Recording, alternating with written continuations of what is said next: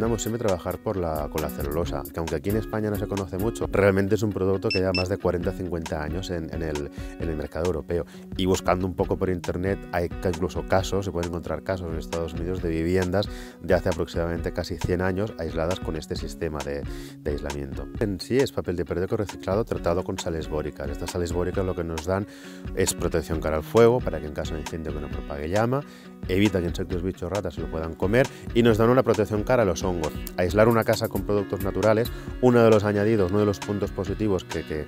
que más a más conseguimos es que nos ayuda a regular el grado de humedad ambiental, que con eso más las sales bóricas que evitan que los hongos proliferen, nos ayuda mucho sobre todo a mejorar estos problemas en viviendas con condensación. Típicas manchas de, hongos, de puntitos negros que salen la, en las paredes, una vez hecha la actuación, es muy, muy, muy, muy difícil que realmente pueda volver a llegar a, salir algún, algún punto de muero en